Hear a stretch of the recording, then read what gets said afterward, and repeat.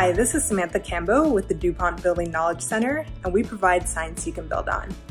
In this two-part series, I'll first cover thermal performance basics, then I'll go into how you can use assembly U-factor tables to determine insulation thicknesses required to meet energy code. Now that I've covered the basics in part one of this video series, I'll now show you how to use a prescriptive approach to comply with energy codes and determine required insulation thicknesses. Last time, we discussed that R value and U factor are two properties that give you a sense of how well a material, or an assembly of materials, either resists or allow heat flow.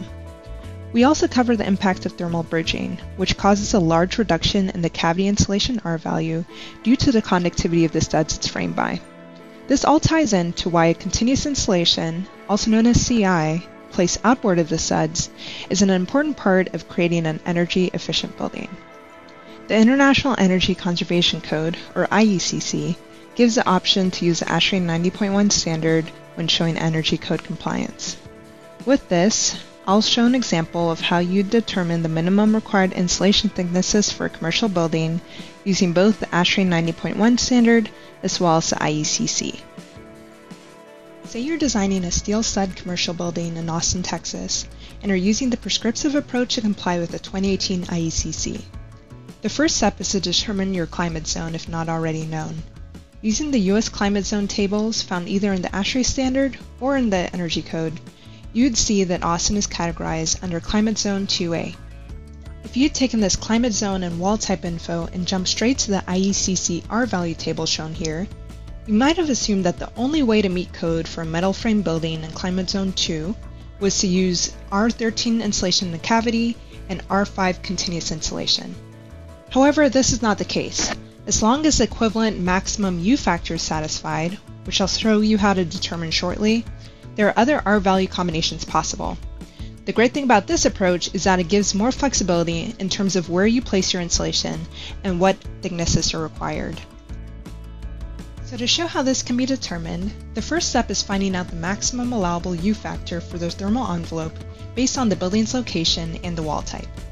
For this steel frame building, for example, go to table C402.1.4 in the 2018 IECC, which shows that an assembly U factor of 0.077 or less is required for this building type in climate zone 2A. Now that we know that the maximum allowable U factor is 0.077, the final step is then to use the assembly U factors for steel frame walls table shown here in ASHRAE 90.1 to figure out what cavity and continuous insulation thicknesses help meet this. Using this table, you can see that one option is to use R13 insulation in the cavity and R5 continuous insulation as shown in the previous energy code R value table. And shown here highlighted in yellow, you can see that by increasing the CI and cavity insulation thicknesses, this would also result in a lower U factor than 0.077 then you know that the associated R values would also be compliant options here. What if instead you wanted to completely eliminate the cavity insulation altogether and use only CI on this project? This is a great approach to help simplify construction, saving on time and labor, and it can also help mitigate condensation issues in the cavity. Let's use the same table to see the minimum CI thicknesses required to achieve the 0.077 or less U factor while you put nothing in the cavity. So starting at none under the cavity insulation column, you then go horizontally across and you'll notice that the first point at which we get to a U factor of 0.077 or less is when we have an R11 continuous insulation value. So what does this mean?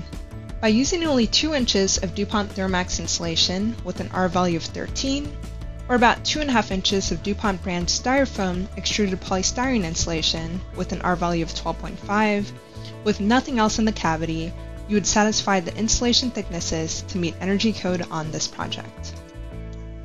To learn more about DuPont's wide range of continuous insulation options, please visit building.dupont.com.